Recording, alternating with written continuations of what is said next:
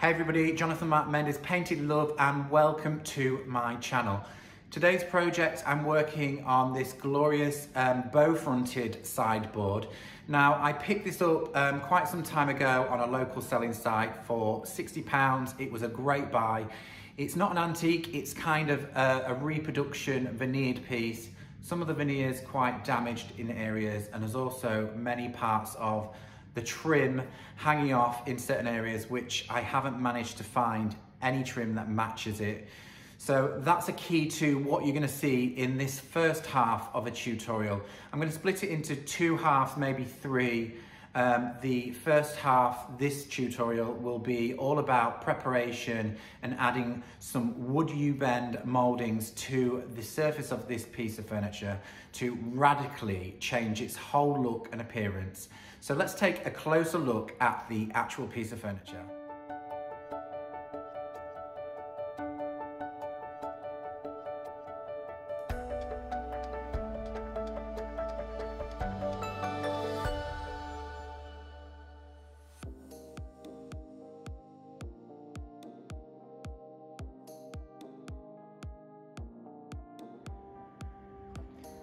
So let's start looking at some of the veneer and handles. Um, some of these are paint flicks. They're not from me, it was from the previous. I think it was, like I said, just stored in a garage or outside space. The veneer you can see here, it's kind of split. It's kind of raised a little bit. I think the damp's got definitely in. You can see more so on this area. It would have been once beautiful.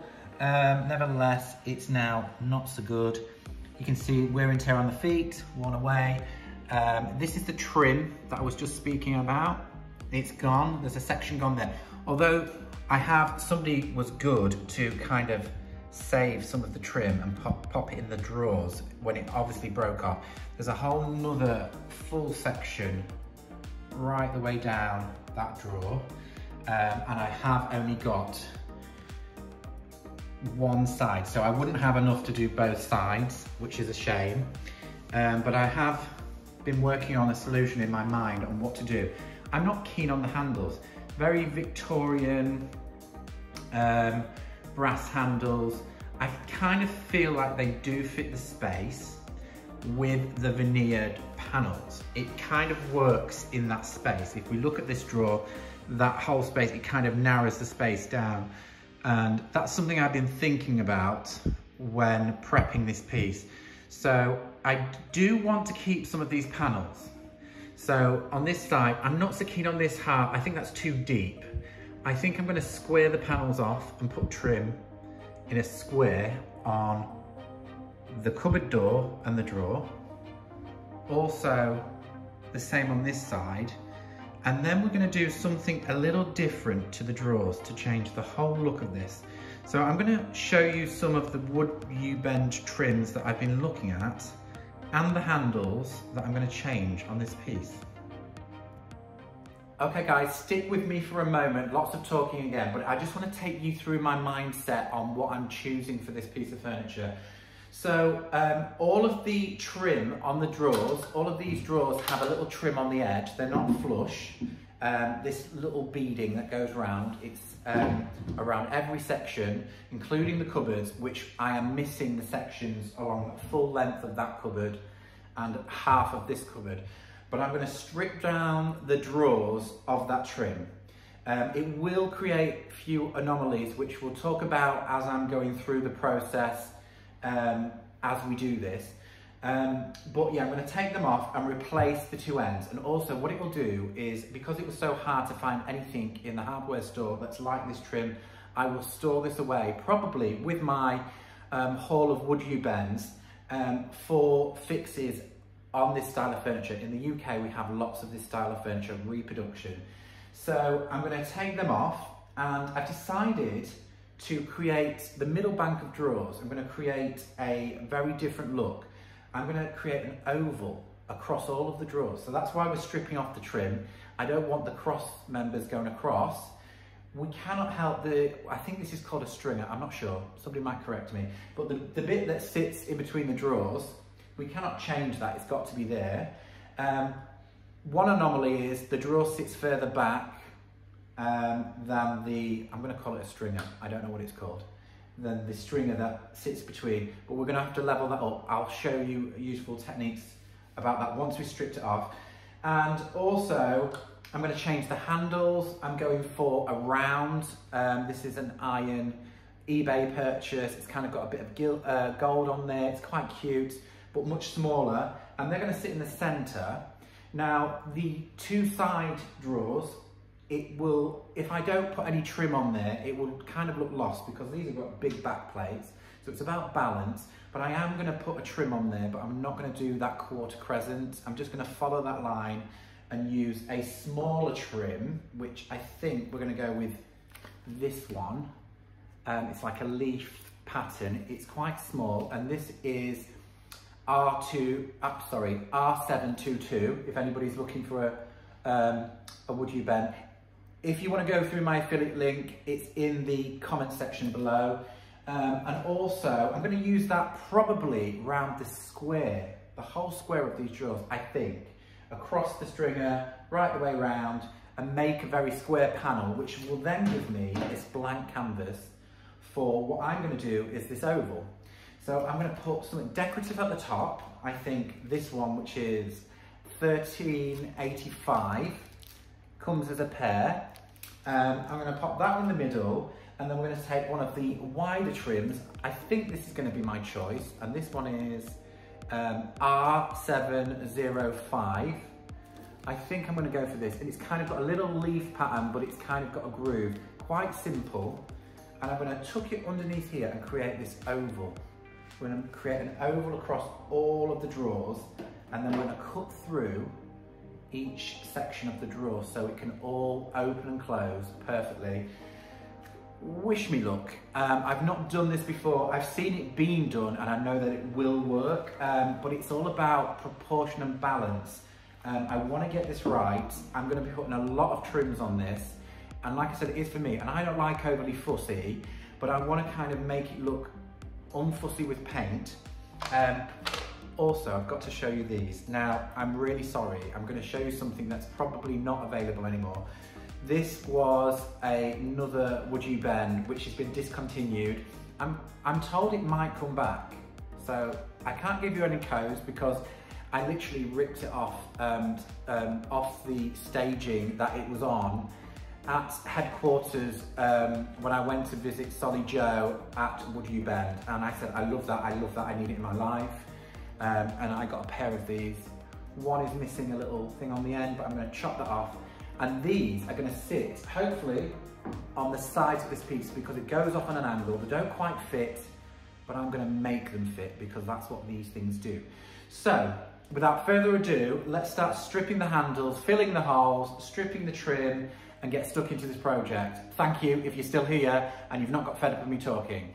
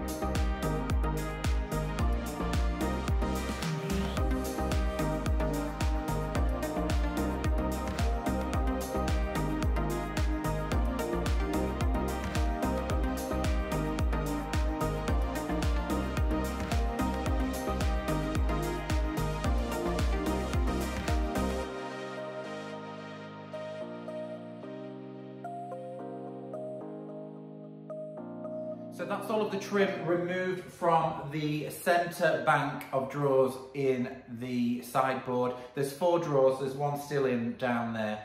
Um, the trim came off absolutely beautifully. I got some really nice long lengths, which was what I was looking for to replace the cupboard drawers. or cupboard doors on this piece, um, there's a full length missing on one and a half on another. I'm not removing off the two drawers above that, that's staying with the cupboard.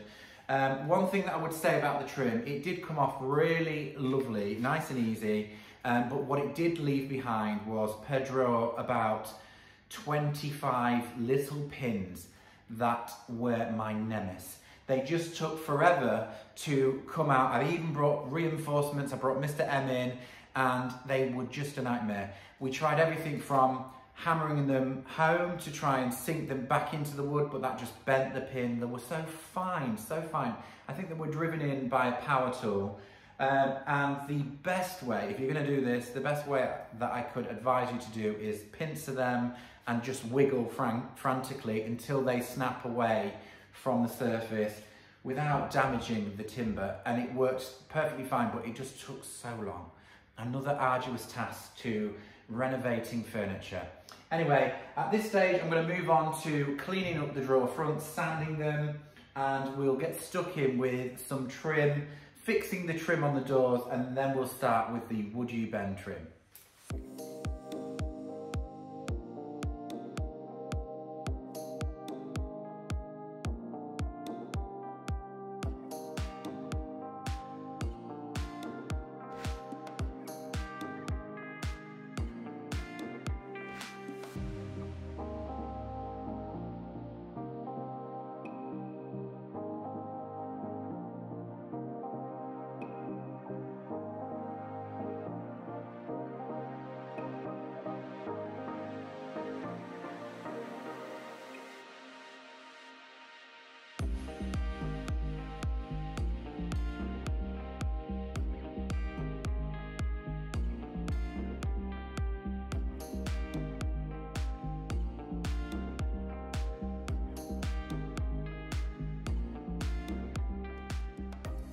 So here we are with another problem solving issue.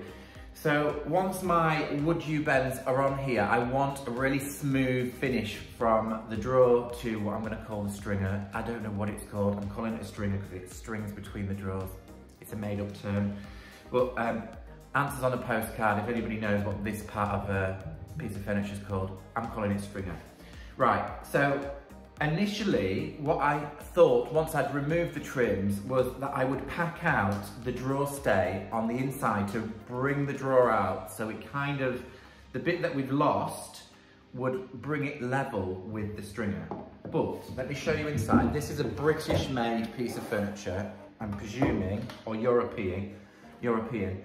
So this is what I came up with, a little matchstick in front of the drawer stay. Rather than removing this, it's nice and firm and glue that into place, which would have made the drawer slightly more protruded on each side.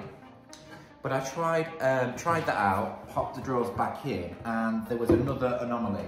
So, what I didn't realise was, once the trim was off, that actually this end of the drawer and that end of the drawer are almost level with the stringer. Um, so it's not there and there that need packing out because if you look, there's almost there a matchstick length that is level to come off here. So what I thought to do is I'm gonna take a blade, I'm gonna mark out along here, right close up of this stringer and I'm gonna take the drawers out and I'm gonna sand this away. This is solid wood, so I'm gonna sand this section away in the middle so we get flushness all the way through. I'm gonna do it across all of the drawers. So hopefully this is level, this is level, and then we'll have a nice clean surface to do all of our Woodubend new design on the front. So wish me luck.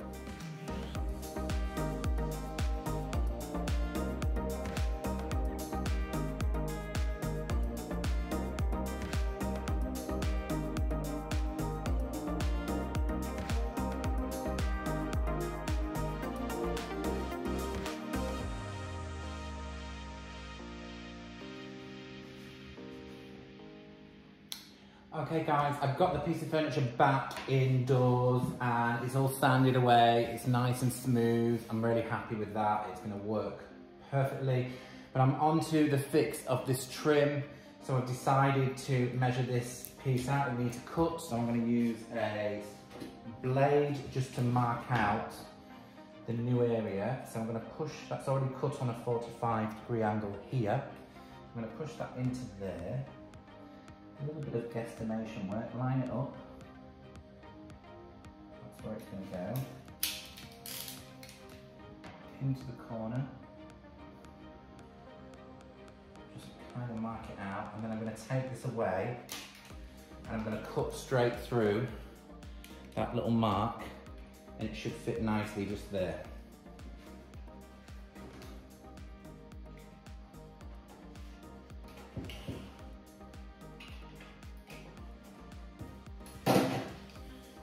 Here we go, straight back in, let's see if this fits. Yeah, it wants to be nice and tight. And we're going to glue that into place and probably, I'm not going to put the pins through this, I'm going to glue it with quick and thick um, bond, the same glue that I would be using for uh, the Woodubends and I'm going to clamp it, I think, just to hold this down.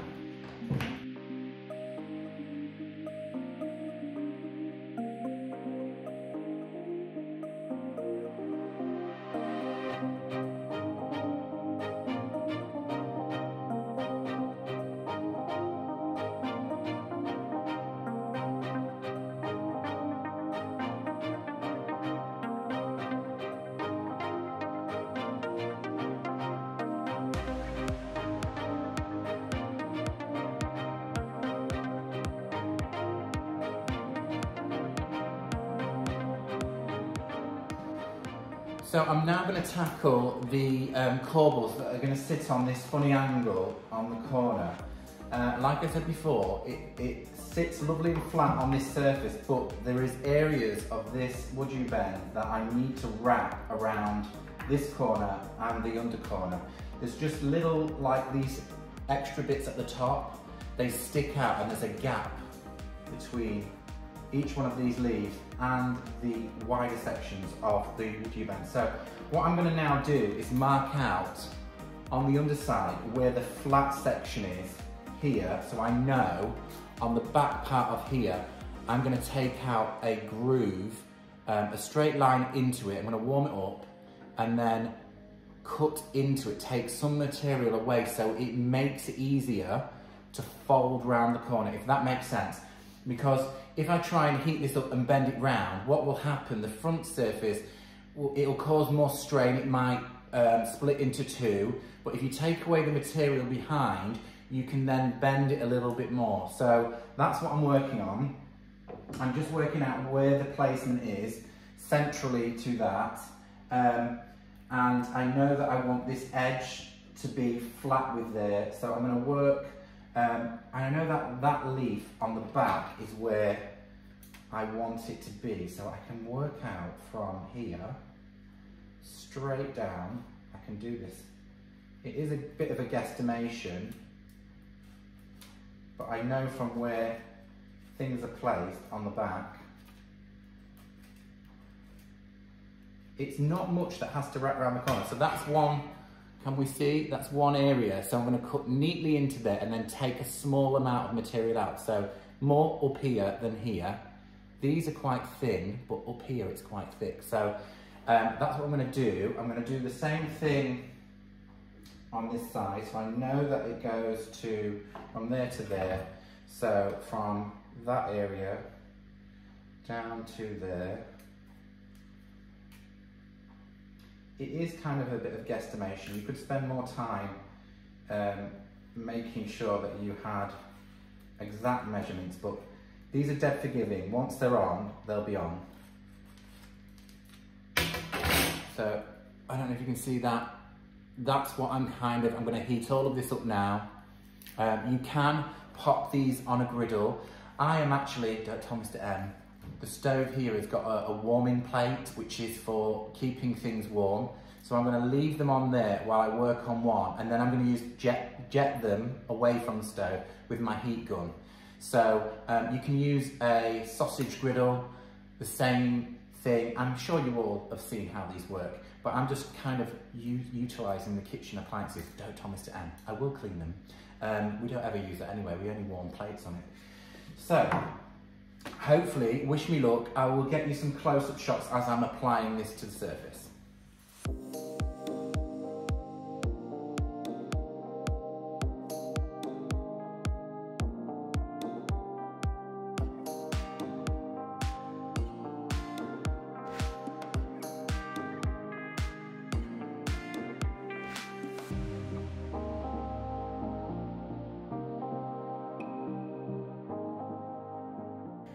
Okay, it turns out that it took quite a lot of gouging out. So we've got quite deep crevices. Um, I have started bending. I've also got a few little cracks that are appearing on the front from the stress of how much it's got to bend. But I'm not gonna worry about that. I've got loads of little pieces that I've gouged out that I'm gonna use as um, a way of fixing this. I will glue this back together but it's gonna be what looks like a relic. So a few cracks in the moldings, for me, doesn't matter. I want it to look like it's got age, but that's basically what I've driven out of the piece. You can see just how much, there's the stress crack. Um, these are first generation Woodubend moldings. They're, the new ones, the what you're gonna see me use later, are much better. So I am working with something that has changed over time. So um, but I'm not gonna worry about it. I'm just gonna go for it. I'm gonna get these nice and hot and just bend them around.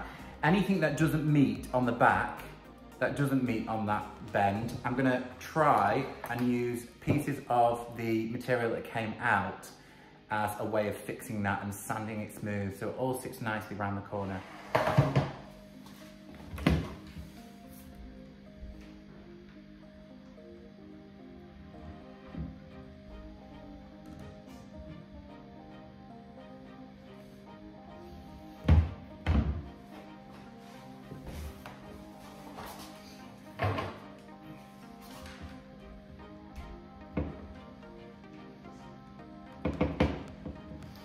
I'm popping lots of glue on here and this is super hot. I've got my oven mitt with me just in case I need to put a lot of pressure on.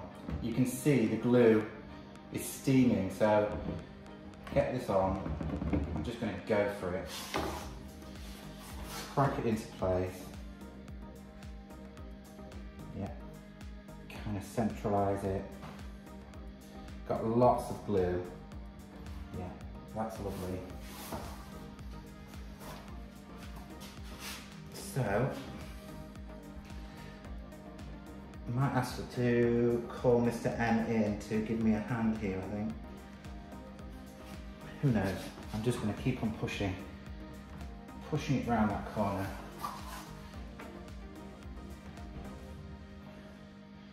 I'll probably, I'll focus on that and reheat that because that's a thinner section. So I'll concentrate on the top. Lots of pressure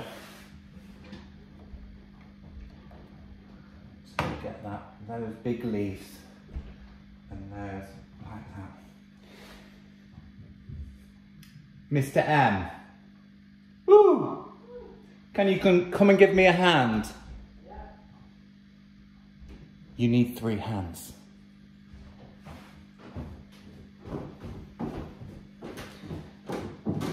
Come and give me your hands. He's a bit shy of the camera. Come around here. It's close up anyway, so we won't see too much of you. Right, I want you to kind of keep pressing there and there so I can focus on other places. Yeah, that's square. Right, that's good. I want that. Right. Can you push on those two as well? Mm -hmm. I might need your hand out of the way a little bit. That's it. Right, I'm not going to worry about this end because I can come back to the end, but I'm more worried about these leaves that need to wrap around this corner. That leaf I'm not worried about, not too much because I can feel the back of it. You cannot see too much on the camera, I'm so sorry, but it does take a lot of pressure for something like this. It will be good. Let me grab my little brush underneath here.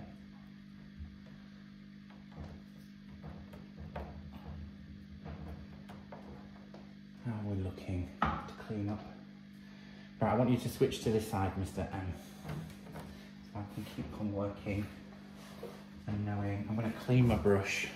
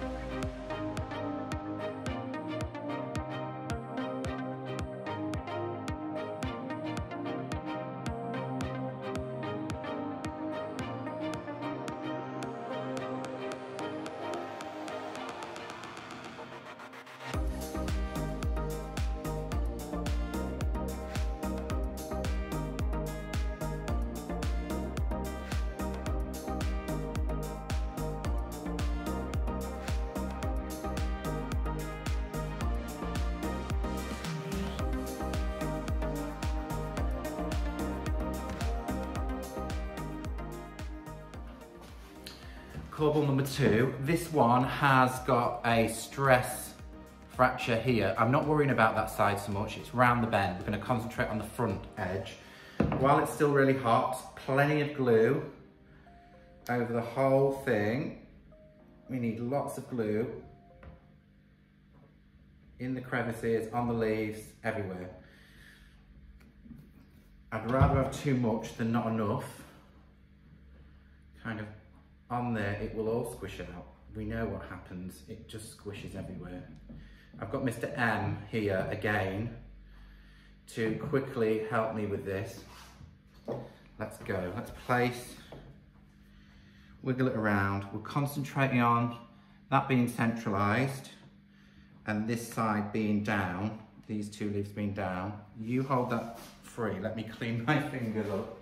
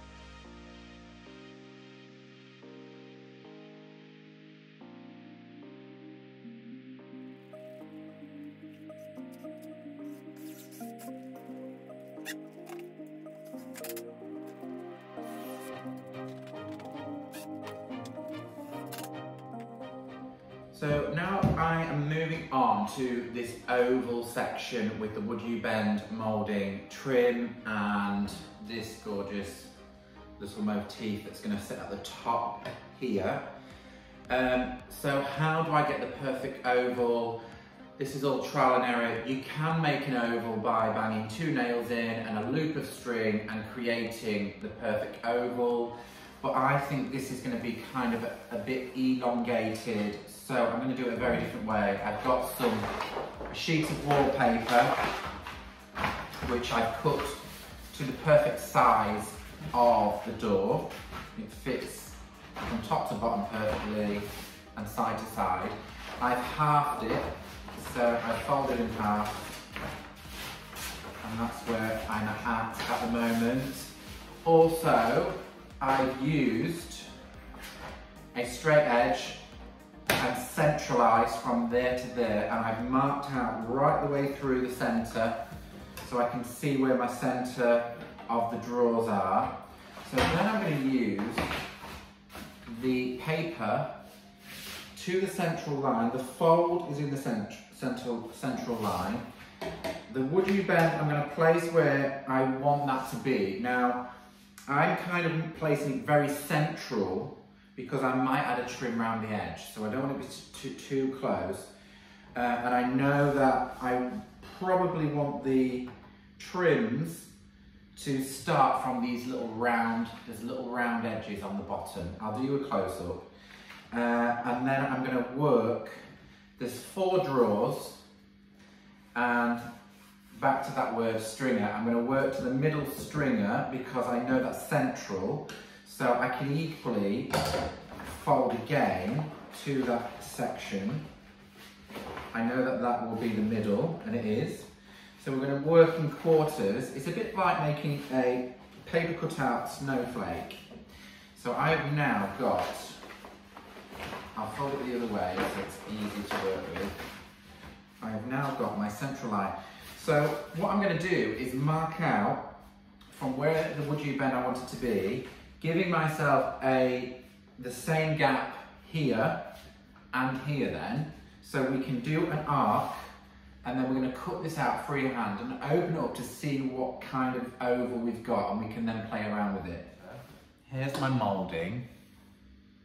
So I'm going to try and connect this oval probably from this section. I'm going to lay this out centrally to the paper. I also am using the existing lines on here to centralise that so I know that there's a nice gap between the top and the edge in case we do put a little trim around the edge.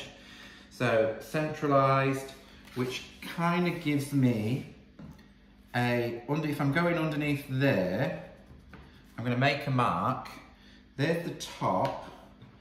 Um, it will, if it was a true oval, it would come probably level with there. So I'm gonna still go with that true oval kind of, it wants to be, when it meets the edges, of course it wants to be kind of square, this oval, so it connects. If it's too steep of an angle, it won't flow.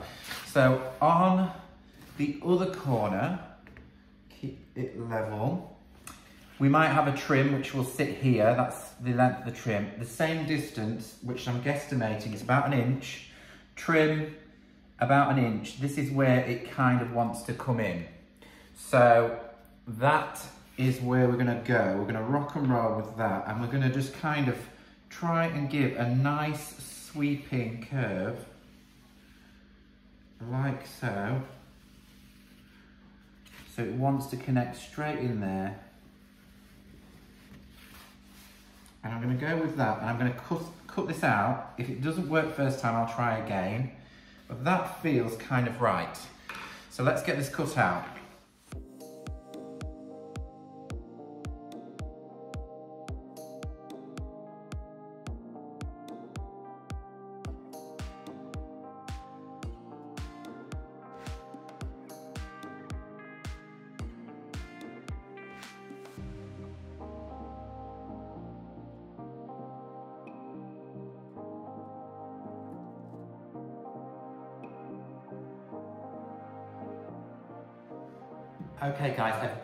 My Woodubend trims on the griddle. Um, the motif is warming up as we speak. I've got to do two things at this point. I've got to work out where the motif is gonna sit with the trim. The trim's gonna sit on the inner part of my marked line that I've made. Um, but where the two connect, the trim's got, the top trim's got to be, or the motif at the top has got to be centralized and then it connects in. I've already preempted the cut around the trim to make my life, life a lot easier at this stage. So how I'm going to tackle this, I'm going to actually put glue um, on the surface of the drawers um, where the trim's going to go and I'm only going to do halfway because I want the trim to match both ways round. So I've left a little bit before the pattern starts, a little bit of naked trim, and then the pattern will hit. So whatever happens, it will match at the top and the bottom. I hope that makes sense. So let's get stuck in with the glue. And I'm just gonna put a healthy amount along this line because I know once it squishes down, it'll all squish out and I can fix that um, along that line. That's where we're at. And I'm gonna go grab the motif. It, it needs to bend, so we're gonna pop that on first and then we're gonna connect in the other trim. We can always heat it up with the hot air gun afterwards, but it's better to keep it all in its roll while it's still hot. So, we're gonna go with the, here's the motif, we're gonna apply lots of glue to this, make sure there's good surface area coverage. Uh, I'm not going to squish it down too hard straight away because I've got to connect in the trim as well. So that is going somewhere. I know that I want to connect underneath those rounds. So I'm to go like that. That feels pretty good. Wiggle it around. I can still see my line. And then I've got this, like I said, pre-cut on this edge, which will connect into there. So we're gonna unravel quick and lay this out. I'm gonna just quickly snap that off because I know that there's gonna be enough. Topple it that way. It's gonna be fiddly. I know it will be fiddly. So down, down, all the way. And I'm gonna push and I will have to reheat this. I know that I will have to reheat this, but I need to find that line and move it around. Where's my little line? There it is.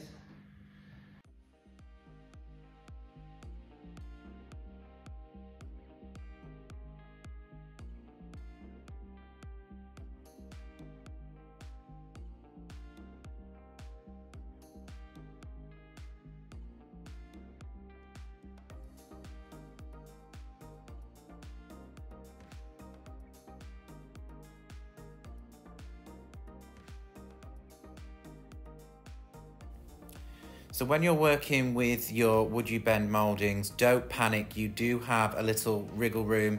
You can see me here removing the top embellishment, making a few more finer detailed cuts. I'm reheating the trim to make sure it is definitely in the position that I want. Generally, Woodubend mouldings tend to um, cool down as quick as they heat up. So trims do cool down a little bit quicker than larger pieces. Here I am adding the next trim. I'm making cuts to fit round the top of the top embellishment and um, reheating ready for application the other way around.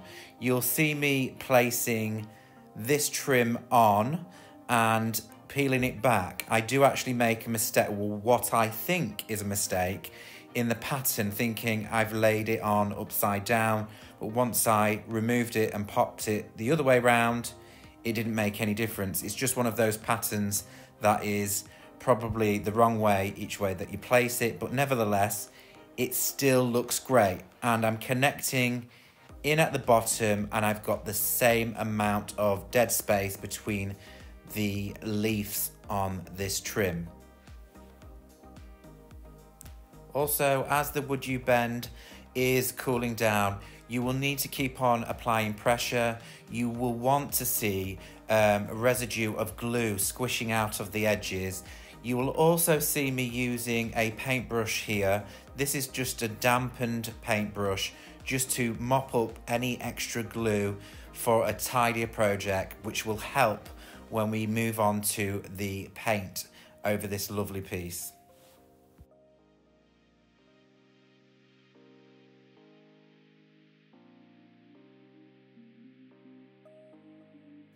Now I'm taking my blade and cutting through each connection of each drawer, um, slightly heating up the Woodubend moulding again so I can cut through nice and easily. This will free up every drawer so they can slide in and out again. We will tidy up the edges with some sandpaper in a little while.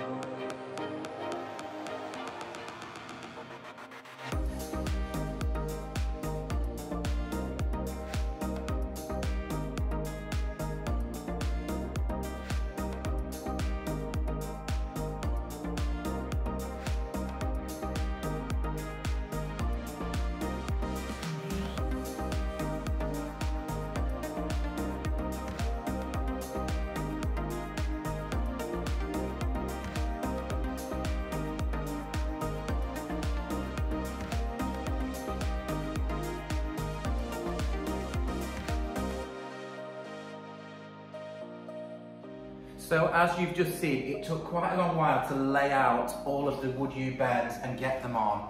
Um, all that's left to do now with the prep work is a couple of things. One is to remove the drawers, because let's get these out. You can see they'll be, they'll be tight because of the extra trims that are around the edge of the drawers. And all I'm gonna do is, as you can see there, on the edge, I'm gonna sand everything that hangs over on each one of these um, drawers, we're going to sand that smooth, the Woodubend smooth, just to give it some freedom.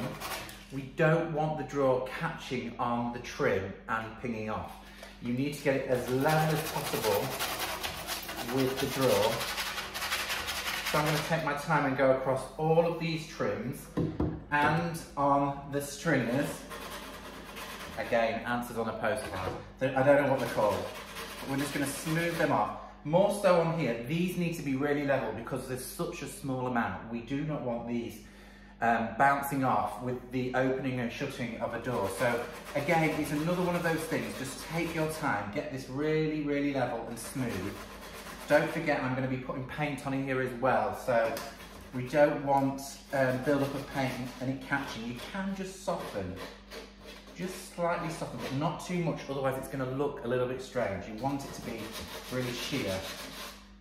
The other thing that I'm going to do is also on the corbel, um, obviously bits didn't quite bend round the corners, so I'm going to soften, take some time and soften those edges on the corbel, some of these leaves, but they're great as they are. They look really lovely. And probably this round at the bottom, just here, just take the edge off that just so it looks purposely carved back on itself. And the last thing that I will do with that is I'm going to fill it with some decorator's caulk. So it will be seamless once it's painted.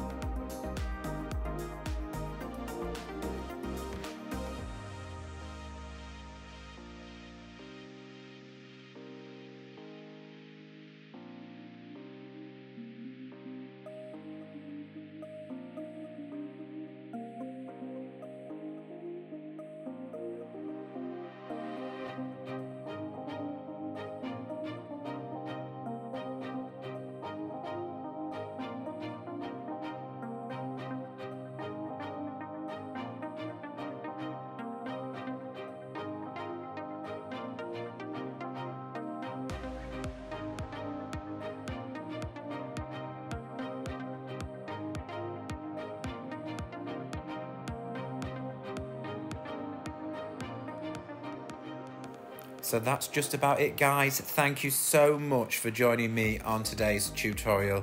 If you've enjoyed watching me recreate the whole look using Woodubends on this piece of furniture, please don't forget to hit the subscribe and notifications bell on my channel. Also, if you fancy seeing the second half of this, I will link it into the description box below. Thank you, take care, happy painting.